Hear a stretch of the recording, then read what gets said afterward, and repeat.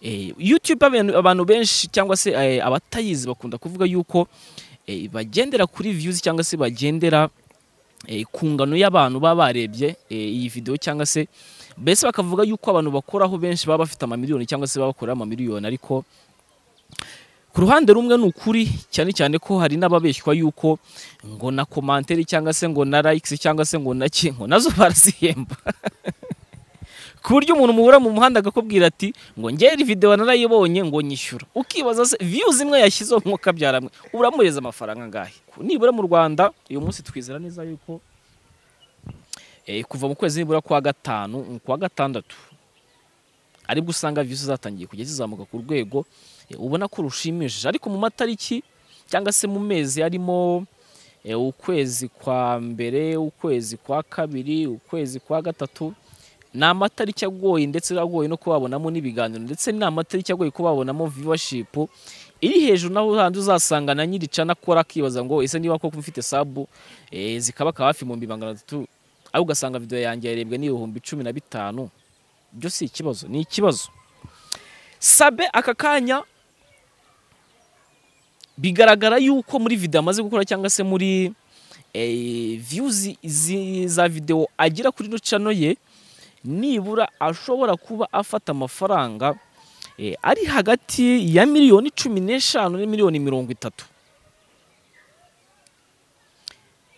Ibyo kugira ngo ubikaraguhetinge cyangwa se kugira ngo ubone ko ibintu bishoboka ni uko nibura uzafata nibura nko muri video nibura nk'eshatu cyangwa se eshanu yakoze ukube ndetse ugereranye no kureba kuri zeru n'ibice zeru na cumi n'umunani kugira ngo urebe neza amafaranga ashobora kuba yinjiza cyangwa se urebe amafaranga ashobora kuba yakorera mu gihe cy'ukwezi. Undi muntu wa kabiri cyangwa se undi muntu washingiraho wavuga ko yinjiza amafaranga menshi harimo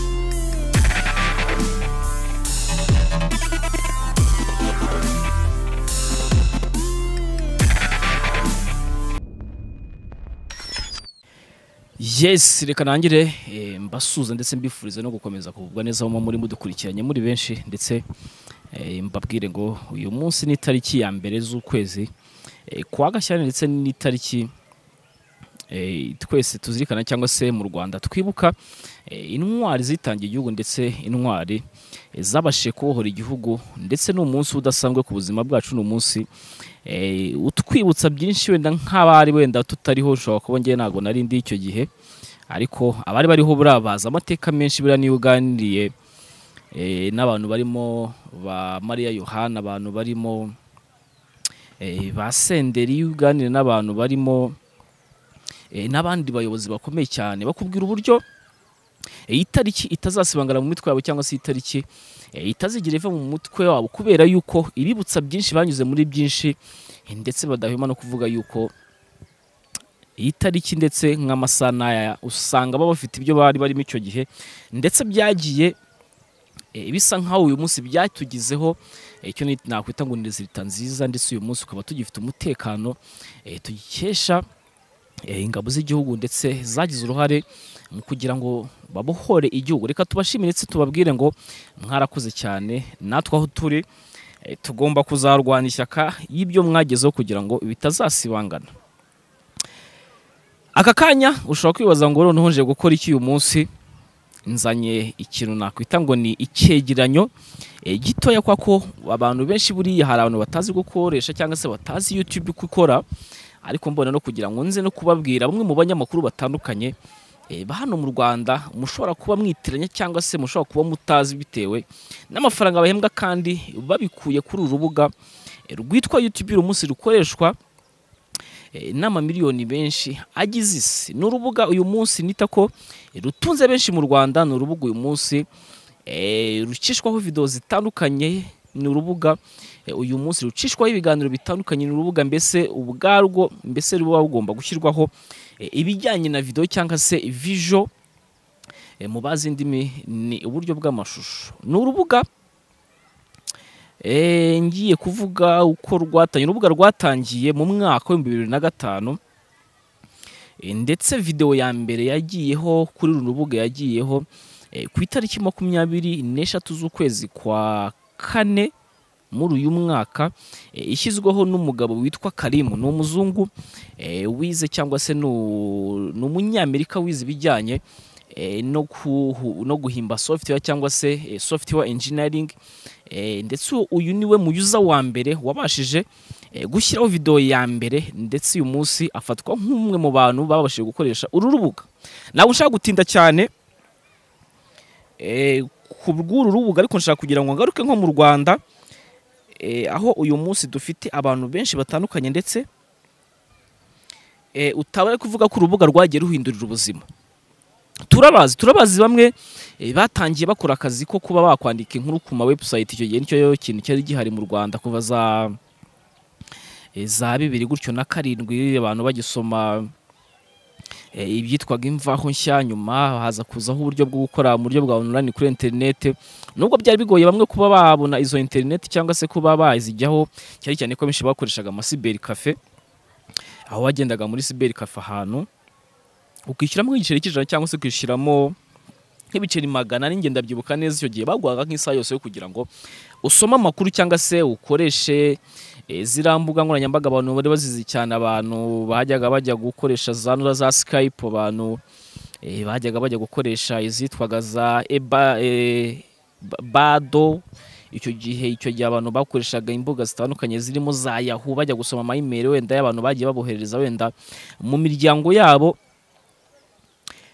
Icyo gihe byari bigoye kuba wanabonaho indirimbo za bamwe mu bahanzi nyarwanda cyane cyane ko byari bigoye no kuba wanazisanga kubera ko benshi ntabwo bari bazi uru rubuga ariko uyu munsi bamaze kurusobanukirwa ariko nshaka kugira ngo twinjire turebe ese mu Rwanda urubuga rukoreshwa gute uru rubuga rutunze bande urubuga abarukoresha bamaze kugira amafaranga menshi ndetse n'ayo bakorera bo ni bande? Ndaza kuvuga ku bintu bibiri ni byo ndaza kugenda ngarukaho ndeba. Kugira ngo tuze kubasha kujyana neza muri iyi nkuru kugira ngo tugende dusobanukirwa twese hamwe. Eh, YouTube abantu, benshi cyangwa se eh, abatayizi bakunda kuvuga yuko eh, bagendera kuri views cyangwa se bagendera ku ngano y'abantu baba barebye iyi video cyangwa se mbese bakavuga yuko abantu bakoraho benshi baba bafite amamiliyoni cyangwa se baba bakorera amamiliyoni. Ariko ku ruhande rumwe ni ukuri cyane cyane ko hari n'ababeshywa yuko ngo na komanteri cyangwa se ngo na likes cyangwa se ngo na ki ngo na zo barazihemba. Ku buryo umuntu muhura mu muhanda akakubwira ati ngo ngeri video narayibonye ngo nyishyura. Ukibaza se views imwe yashyizeho mwuka byaramwe uramuhereza amafaranga angahe? Ugasanga abantu benshi bahuye n'ikibazo gikomeye cyo kuba umuntu ngo umubwira ngo gukora subscribe mu gitondo yayikora. Ejo kujya abwira ngo narayikoze ngo ndongera ngo ndayikora ngo ukabona ugasanga yanayikuyeho wanze kumugurira yikuraho urumva ugasaba umuntu ngo ahora akora subscribe kandi ayikora ahantu hamwe. Ukibaza se ubwo aya yayikoze ayikura arongera ayikora ayikuraho gutyo mpaka. Ugasanga rero abantu uyu munsi bakoresha YouTube cyangwa se batayiriho hari amakuru menshi wenda y'ibintu baba batazi cyangwa se hari amakuru y'ibintu baba badasobanukiwe. Mashaka kugira ngo eh, nkanjye wagira ubuntu kugira ngo mbimenye eh, dusobanukirwe ndetse mbagiremo eh, icyo nakwita ngo ni uko ikoreshwa nuko uyu munsi biba bihagaze ku biciro cyangwa se ku mafaranga YouTube umuntu ashobora kwinjizaho. Mbere na mbere nashaka kugira ngo turebe uko iyi YouTube ikoreshwa cyangwa se ko YouTube eh, umuntu yinjiza. Cya mbere cyo ndahera ku kintu cyitwa CPM CPM eh, bivuga yuko ari cost per minute nyine bivuga ngo ni igiciro bagenera cyangwa se ni igiciro eh, cy'ingero y'abantu barebye video wenda kuri views igihumbi. Kuri views igihumbi mbibutse yuko buriya YouTube kugira ngo umuntu uyikoraho ahembwe nuko eh, hari icyitwa ama ads cyangwa se hari icyitwa kwamamaza binyuze muri video yawe. Mbese iyo video yamara kurebwa n'abantu benshi cyangwa se yamara kuba imaze kurebwa n'abantu eh, barenze nibura abantu igihumbi. Ku buryo YouTube ubwayo hari amafaranga baguhereza nko mu content creator uba usanga ukoresha iyo YouTube ndetse hakaza kuvamo n'amafaranga eh, ubwabo nabo basigarana. Ni pourcentage ndetse bagenda niyo mpamvu bavuga ngo eh, ni cost payer 100 views. Ikindi kintu cya kabiri turaza kujya tugarukaho muri iyi nkuru turareba ku kintu cyitwa eh, RPM RPM eh, uyu munsi RPM ishobora kuba ari mu bintu ushobora kuba byakwinjiza cyangwa se abantu bagendera kugira ngo urebe ngo amafaranga ngomba kwinjiza angana gute amafaranga eh, ngomba kuzahabwa angana gute. Ibyo rero babishingiraho bitewe nari yitwa ngo revenue per minute na yo ni uburyo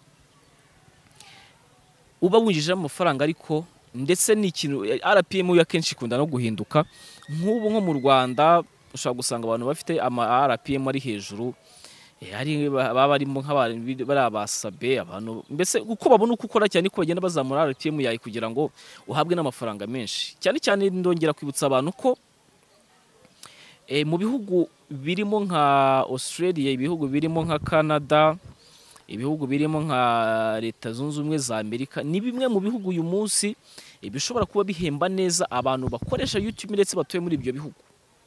Nimvuga muri australia abahatuye ibyo byose cyangwa se abahazi bahita bamenya ibyo bihugu ibyo ari byo nimvuga abantu bari muri canada baraza guhita bamenya ibyo ari byo bivuga ngo uyu munsi umuntu ushobora kuba akoresha ikintu cyitwa youtube.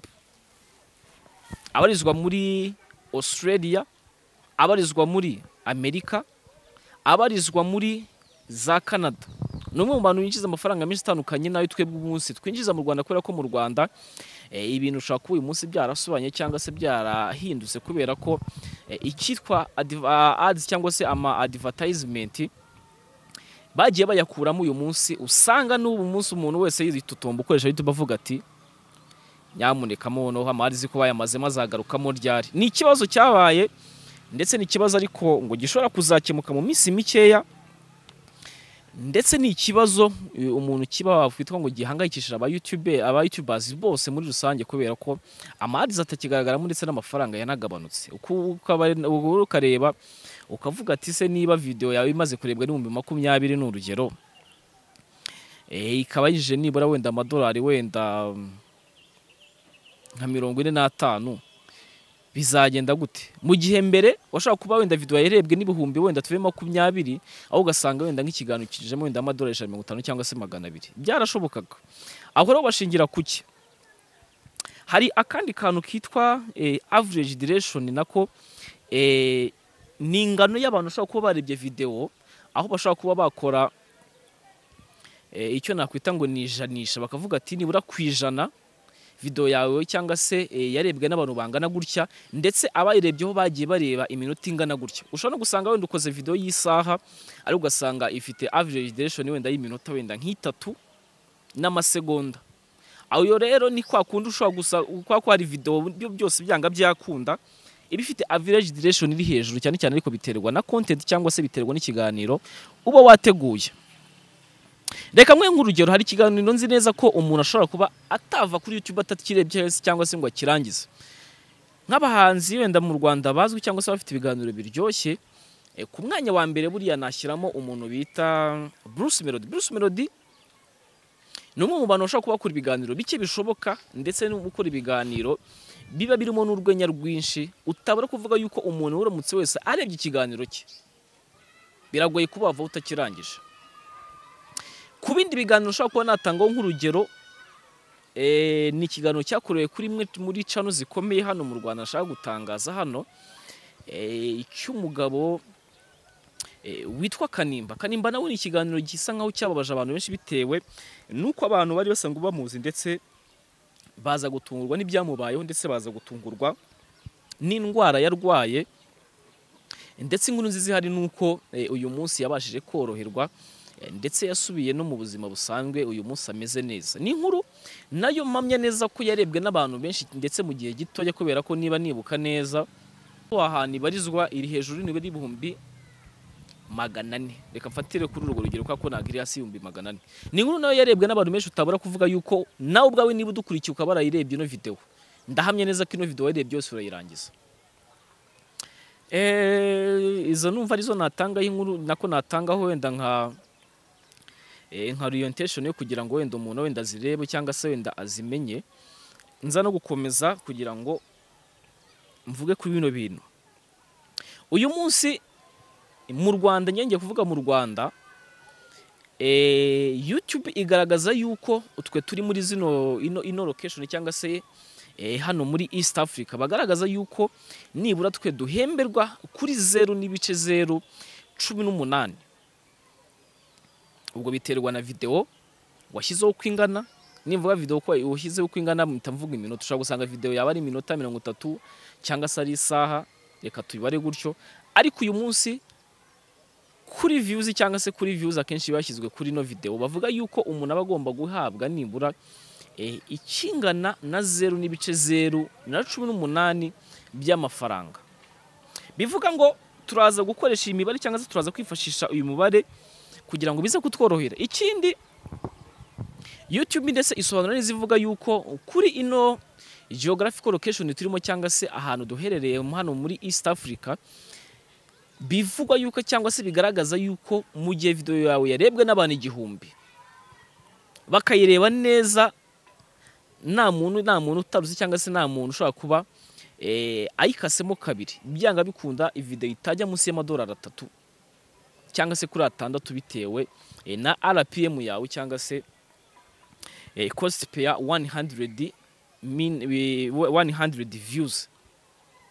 Bivuga ngo video yo ishobora kuba yarebwa n'abantu igihumbi byanga bikunda bakayireba neza batayicishije cyangwa se bakayireba neza nta muntu ugeze ayikatamo. Iri hagati y'amadolari atatu. Ubwo igiye hasi byaterwa na RPM yawe ni byo ndimo gusobanura kugira ngo mubyumve. Ikindi kintu nshaka kuza gushingiraho cyangwa se ikintu ndaza kuvuga eh, kugira ngo tuze kuboneraho kugira ngo tugende dukora imibare ndetse tugaragaze n'ibimenyetso byazo eh, turaza kuvuga ku banyamakuru cyangwa se eh, tuvuge no kuri channel zitandukanye. Uyu munsi dufata nka channel zikomeye ndetse uyu munsi zinjiza amafaranga menshi ariko turaza kuvuga ku banyamakuru bazikora kandi bazwi. Ku mwanya wa mbere tutagiye kwishyura cyangwa se tutagiye kujya muri rwinshi turabonaho umugabo bita Murungi Sabe uyu munsi ufite channel. Ifiteho videwo yarebwe n'abantu benshi cyangwa se ifiteho videwo imaze kurebwa n'abantu bangana na miliyoni makumyabiri n'imwe. Ni videwo yashyizweho uyu munsi imaze kurebwa na miliyoni makumyabiri n'imwe ubwo uvuze ngo ugiye gukarikuretinga cyangwa se kureba eh, aya mafaranga cyangwa se ishobora yinjije ino videwo ushobora kuba wakwifashisha iriya mibare twavuze hejuru turaza uyu munsi tura- turaza gukora ikintu bita ku- kugereranya kugira ngo eh, kubera ko tutazi RPM ye kano kanya ariko RPM ye ukurikije na channel y'ukuntu wenda ikora. Video se cya mbere cyo ntago zijya hasi nibura y'ibihumbi mirongo itanu mu masaha makumyabiri n'ane. Ibi ndi kuvuga nawe wenda ujye ujyaho ucekinge kugira ngo eh, tuze kujyana ndetse tuze kurebera hamwe kuko ibi cyegeranyo naguteguriye kugira ngo tutaza kubeshya cyangwa se tutaza kugira ngo ndakubeshya nawe wajya uteraho ijisho ukareba kugira ngo tujyane. Ndaguha nk'urugero kano kanya eh, videwo ishobora kuba iriho kugira ngo tujyane. Mm. kugira ngo tujyane reka turebe videwo kano kanya turi gukora kino kiganiro. Igihe imazeho n'abantu bamaze kuyireba. Aka kanya videwo mm, iriho imaze kurebwa ifite amasaha cumi n'icyenda ifite views ibihumbi mirongo itatu n'umunani bivuga ngo iraza ishobora kuza kuzuza umunsi nibura byanga bikunda irebwe. Indi videwo umuntu yabara ko eh, imaze iminsi mike ndetse imaze kurebwa n'abantu benshi ni indi videwo imaze iminsi imaze kurebwa n'ibihumbi mirongo itanu na bitandatu. Aha rero ndagira ngo mbabwire ko ushobora gusanga wenda views zagabanutse wenda bitewe wenda n'ibihe turimo na byo muri iyi minsi views zarabuze abantu bakoresha YouTube cyane barabizi baranibisobanukiye yuko muri iyi minsi views zabuze. Ari niyo mpamvu uzatungura ugasanga hari igihe views zishobora kuzamuka cyangwa se ugasanga zamanutse bitewe n'ukwezi uko ariko nibura mu Rwanda uyu munsi twizera neza yuko eh, kuva mu kwezi nibura kwa gatanu kwa gatandatu ari bwo usanga views zatangiye kujya zizamuka ku rwego eh, ubona ko rushimishije. Ariko mu matariki cyangwa se mu mezi arimo eh, ukwezi kwa mbere ukwezi kwa kabiri ukwezi kwa gatatu ni amatariki agoye ndetse agoye no kubabonamo n'ibiganiro ndetse ni amatariki agoye kubabonamo viewership. Iri hejuru naho handi uzasanga na nyiri cana akora akibaza ngo ese niba koko mfite sabu eh, zikabaka hafi mu magana atatu? Ariko ugasanga video yanjye yarebwe n'ibihumbi cumi na bitanu. Byo si ikibazo ni ikibazo. Sabe aka kanya bigaragara yuko muri video amaze gukora cyangwa se muri eh, views izi- za video agira kuri no channel ye nibura ashobora kuba afata amafaranga eh, ari hagati ya miliyoni cumi n'eshanu na miliyoni mirongo itatu. Ibyo kugira ngo ubikaraguhitinge cyangwa se kugira ngo ubone ko ibintu bishoboka nuko nibura uzafata nibura nko muri video nibura nk'eshatu cyangwa se eshanu yakoze ukube ndetse ugereranye no kureba eh, kuri zeru n'ibice zeru na cumi n'umunani kugira ngo eh, urebe neza amafaranga ashobora kuba yinjiza cyangwa se urebe amafaranga ashobora kuba yakorera mu gihe cy'ukwezi. Undi muntu wa kabiri cyangwa se undi muntu washingiraho wavuga ko yinjiza amafaranga menshi harimo uwitwa Murindahabiri nahoze ukorana na, Philipita eh, ku yahoze yitwa Philipita plus 250 mm. akaza kuyivaho ajya ku yitwa The Choice Live ndetse akaza no kuyivaho yerekeza uyu munsi kuri channel yitwa M- eh, MIE Empire uyu munsi arimo gukoreraho imibare cyangwa se eh, igaragaza yuko eh, MIE nibura video ishobora kuba yarebwe n'abantu benshi cyangwa se eh, ishobora kuba ifite abantu bayirebye benshi cyane. Hariho video ifite hafi ibihumbi magana atandatu mirongo itanu na bine ndetse ni video eh, yaje kuba iya mbere cyangwa se uyu munsi icoboye ino cano yamurinda habi ikindi kigaragara ni uko iyi cano uramutse ugiye kureba amafaranga uyu mugabo cyangwa se eh, uyu musore yinjiza ubona ko nibura ari hagati ya miliyoni eh, hagati y'umunani na cumi n'eshanu nta gihindutse mbibutsa yuko ibi bintu biko cyangwa se ibi bintu kugira ngo bikore neza ubanza ukareba eh, icyitwa cost pair 100,000 views ukareba.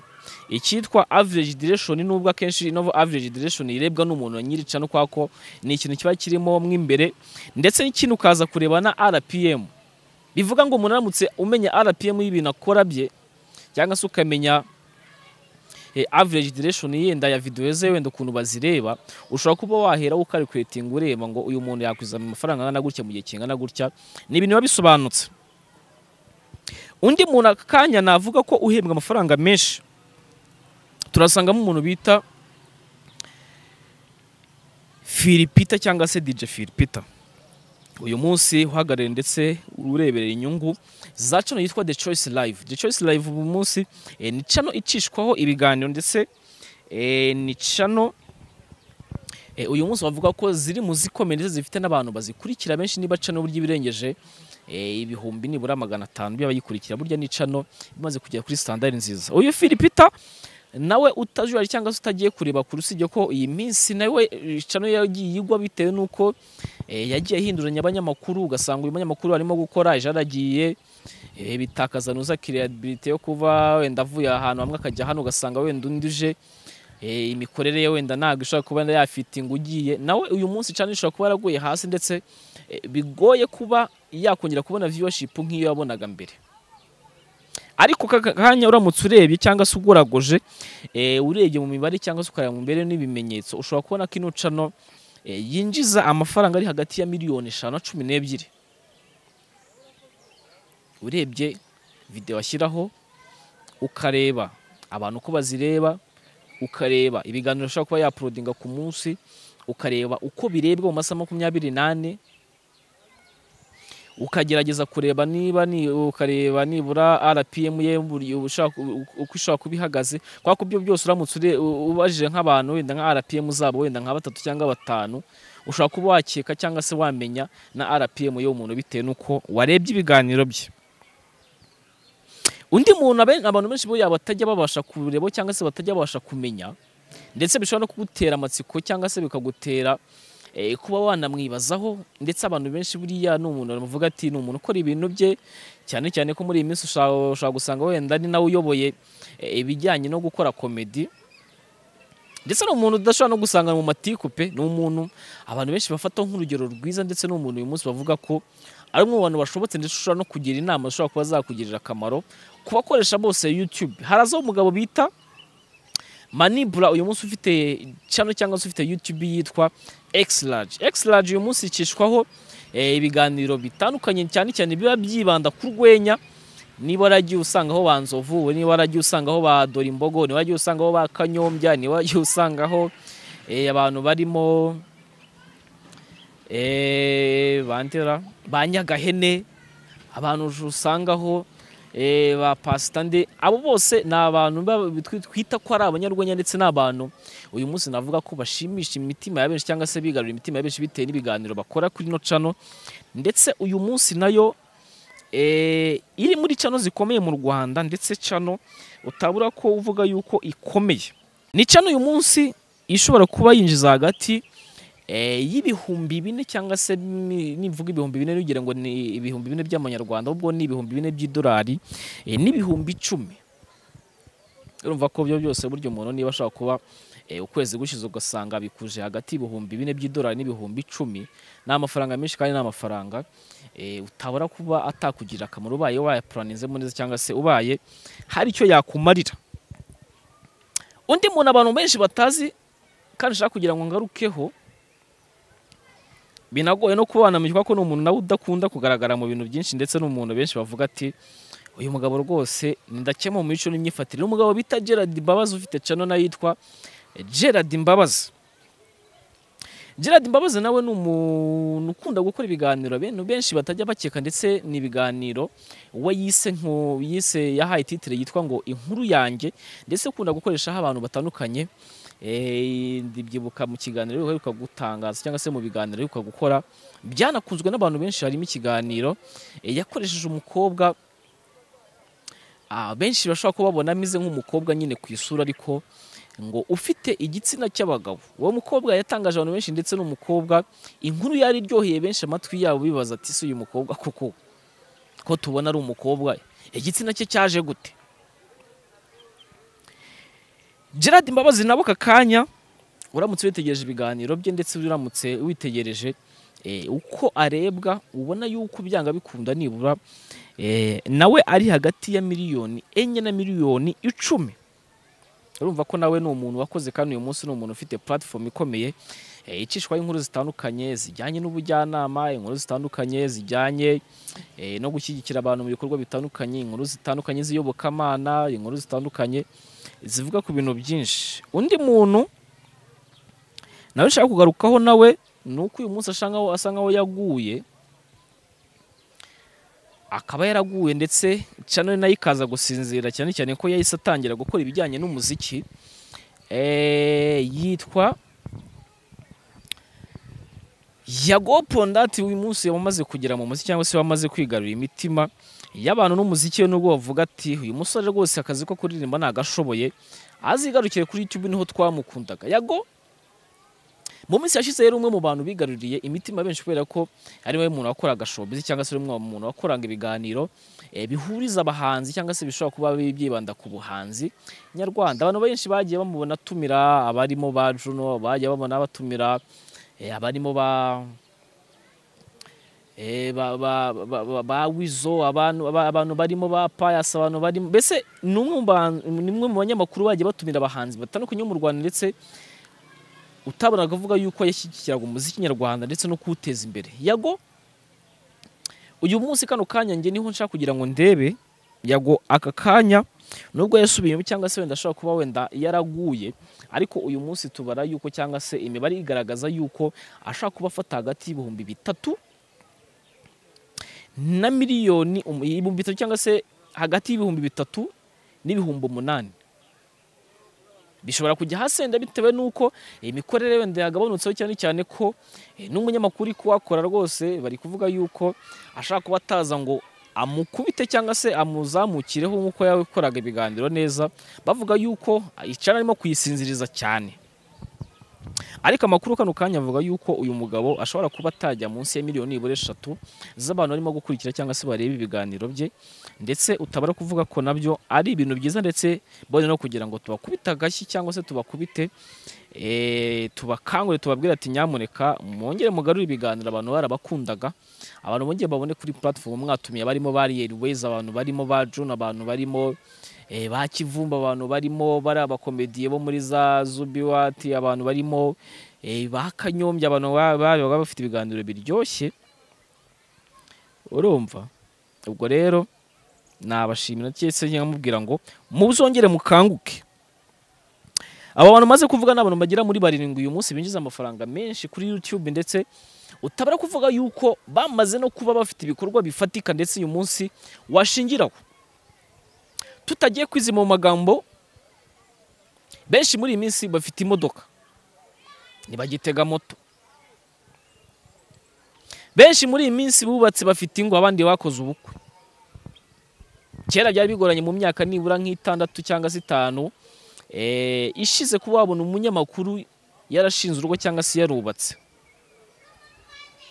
Ariko uyu munsi ni handi ushobora gusanga umunyamakuru ashobora kuba wenda akorera kuri YouTube ejo ugasanga iramuhiriye yamara kumuhira ejo ukabona aguze imodoka ejo ukabona akoze ubukwe ejo ukabona agize umuryango ndetse ukabona ko hari ukuntu YouTube yahinduye eh, ubuzima bwabo ndetse uyu munsi ikaba inabatunze ndetse uyu munsi bakaba bayifata nk'umubyeyi ukomeye mu buzima bwabo. Harimo benshi baguze amazu.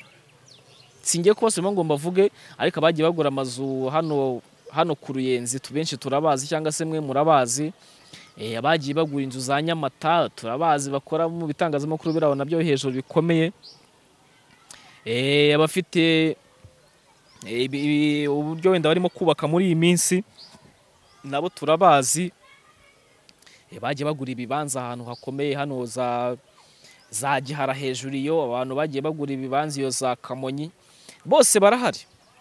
Harimo n'abagiye babyazamo bizinesi zo gucuruza eh, ibintu bitandukanye nko gucuruza imyenda nko gucuruza ibijyanye wenda n'amavuta y'ubwiza abagomba gucuruzamo n'utubari. Harimo n'abagiye bacuruzamo utuntu tw'utubari ugasanga umuntu afite nk'akabari runaka. Ariko yagakuye muri bino bintu byo kwinjiza cyangwa se bino bintu eh, byo gukora ibiganiro kuri YouTube. Uyu munsi rero wavuga ko YouTube yahinduriye ubuzima abantu benshi. Nari nanjye mvuga ngo ngo ngo mbere ngo byari bigoye kuba wabona umunyamakuru yubatse ariko uyu munsi umunyamakuru ujya kubona ukabona akoze ubukwe bwiza.